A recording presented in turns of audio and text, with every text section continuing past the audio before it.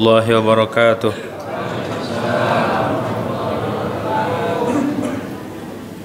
الحمد لله رب العالمين والصلاة والسلام على أشرف الأنبياء والمرسلين سيدنا محمد وعلى آله وصحبه أجمعين. أما بعد فقد قال الله سبحانه وتعالى في محكم تنزيله وهو أصدق القائلين أعوذ بالله من الشيطان الرجيم. قل يا عبادي الذين آمنوا اتقوا ربكم للذين أحسنوا في هذه الدنيا حسنة وأرض الله واسعة إنما يوفى الصابرون أجرهم بغير حساب وقال النبي صلى الله عليه وسلم الصوم نصف الصبر والصبر نصف الإيمان wal hadirat yang dirahmati oleh Allah Subhanahu wa taala. Pertama-tama marilah kita panjatkan puja dan puji syukur kehadirat Allah Subhanahu wa taala. Yang mana pada malam hari ini alhamdulillah kita telah sampai di pertengahan bulan Ramadan.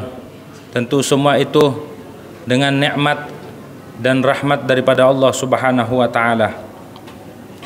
Jika bukan karena nikmat taufik daripada Allah Subhanahu wa taala, kita tidak akan sampai di pertengahan bulan Ramadan. Terlebih istiqomah di dalam melaksanakan ibadah puasa dan melaksanakan salat tarawih juga amalan-amalan yang lain. Hadirin wal hadirat yang dirahmati oleh Allah Subhanahu wa taala. Di dalam menjalankan ibadah puasa khususnya umumnya ibadah-ibadah yang diperintahkan oleh Allah Subhanahu wa taala atau diperintahkan oleh Rasulullah SAW. Kita membutuhkan yang namanya kesabaran di dalam menjalankan ibadah tersebut. Jika kita tidak memiliki kesabaran di dalam melaksanakan ibadah puasa ataupun ibadah-ibadah lainnya, maka kita tidak akan merasakan kelezatan ibadah. Juga kita tidak akan pernah merasakan dan mendapatkan keistiqomahan di dalam perintah Allah Subhanahu wa taala. Maka dari itu sabar di dalam menjalankan ibadah itu sangat penting. Karena seluruh amal ibadah itu dibalas oleh Allah Subhanahu wa taala 10 kali lipat. Kullu hasanatin bi asyrati amsalihha. Setiap kebaikan itu balasannya 10 kali lipat. Sampai 700 sampai tidak terhingga kecuali puasa illa saum fa innahu li kata Allah Subhanahu wa taala di dalam hadis qudsi wa ana ajzibih kecuali puasa. Puasa itu tidak ada yang tahu balasannya. Bahkan malaikat sekalipun tidak ada yang tahu pahala berpuasa. Maka oleh karenanya mari kita maksimalkan sisa-sisa hari yang diberikan oleh Allah Subhanahu wa taala untuk berpuasa. Gunakan semaksimal mungkin. Gunakan buat menuntut ilmu. Gunakan buat melakukan ibadah-ibadah fardu gunakan buat melaksanakan ibadah-ibadah sunnah yang dianjurkan di dalam bulan suci Ramadan. Mengapa demikian? Karena di dalam bulan Ramadan pahala sunnah dibalas pahala fardu. Dan pahala fardu dibalas 70 kali lipat.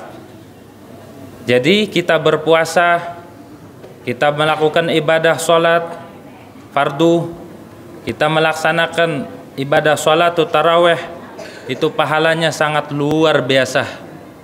Bahkan jika kita memiliki kesabaran maka pahalanya tidak terhingga. Puasa sendiri tidak ada balasannya tidak terhingga balasannya. Terlebih di dalam puasa ada yang namanya kesabaran. Kata Nabi as-saumu sabri. Puasa itu setengah dari kesabaran adanya di, puasa. Wasobru nisful iman dan sabar itu separohnya iman, setengahnya iman adanya di dalam ibadah kesabaran. Maka dari itu kita sebagai umat Nabi besar Muhammad SAW penting memiliki kesabaran.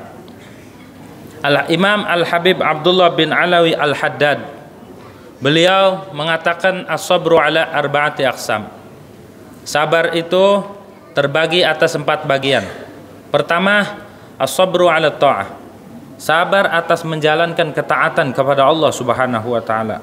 mudah-mudahan kita tergolong orang-orang yang sabar menjalankan perintah Allah. Amin.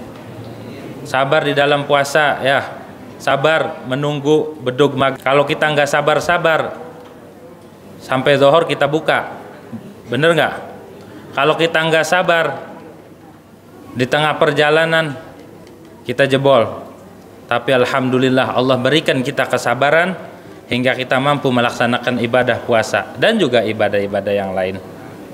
Yang kedua sabar daripada maksiat. As-sabru anil ma'asi.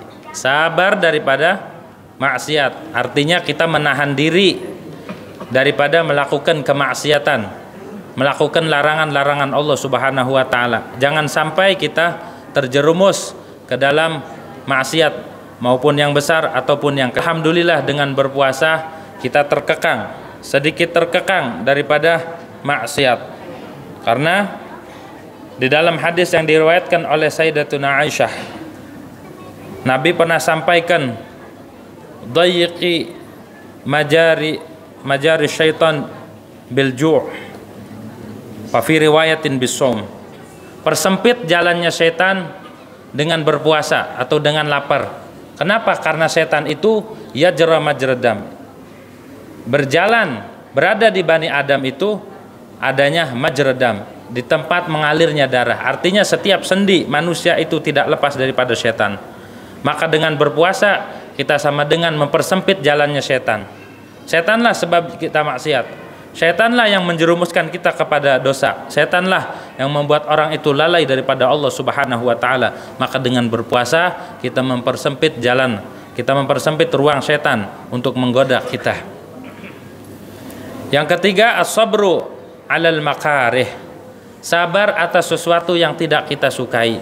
Sabar atas musibah, sabar atas ujian, sabar atas fitnah, sabar atas segala yang diderita, sabar di dalam keuangan, sabar di dalam penyakit yang diderita, sabar pada keluarga, sabar dalam menghadapi tetangga, teman dan semua hal-hal yang membuat kita sakit, yang membuat kita tidak suka, yang membuat hidup terhimpit.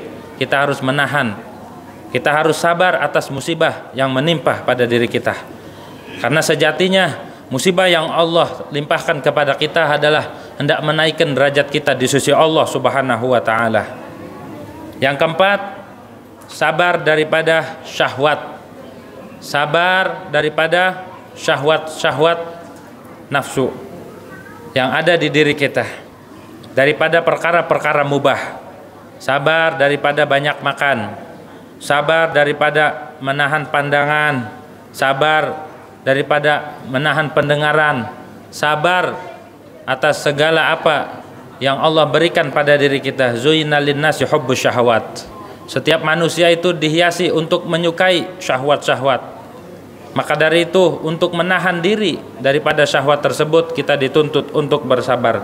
Inilah bagian-bagian sabar yang dikatakan oleh Al-Habib Abdullah bin Alawi Al-Haddad maka di dalam bulan Ramadan ini Allah mendidik kita biar menjadi hamba yang sabar sabar di atas taat sabar dari maksiat sabar atas musibah sabar juga daripada syahwat-syahwat. Jangan dibiarkan diri kita terlena pada syahwat.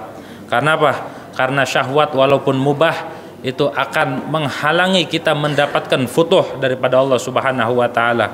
Karena kata ulama andai kata orang itu makan sampai kenyang maka efeknya adalah ada beberapa efek, ada beberapa faktor-faktor negatif. Di antaranya dia malas beribadah. Di antaranya juga ketika orang itu kenyang, maka nasihat tidak masuk. Di antaranya juga ketika orang itu kenyang, maka nasihatin orang tidak akan tidak akan berpengaruh. Di antaranya juga menimbulkan penyakit-penyakit dan lain sebagainya. Maka dari itu tahan diri kita. Di bulan Ramadan Allah mendidik kita agar senantiasa mengekang hawa nafsu dengan rasa sabar. Mudah-mudahan setelah Ramadan kita menjadi hamba Allah yang bertakwa, hamba Allah yang memiliki kesabaran, hamba Allah yang benar-benar dijuluki orang-orang yang sabar. Karena Allah Subhanahu wa taala firmankan, "Innama sabiruna ajrahum bighairi hisab." Hanya saja diberikan pahala orang-orang yang bersabar bighairi hisab, tidak ada batasan, tidak ada hitungan orang yang bersabar sama dengan berpuasa, tidak ada hitungan pahalanya. Amin ya rabbal alamin. Demikian kurang lebihnya mohon maaf. Hadanallahu wa iyyakum. Wassalamualaikum warahmatullahi wabarakatuh.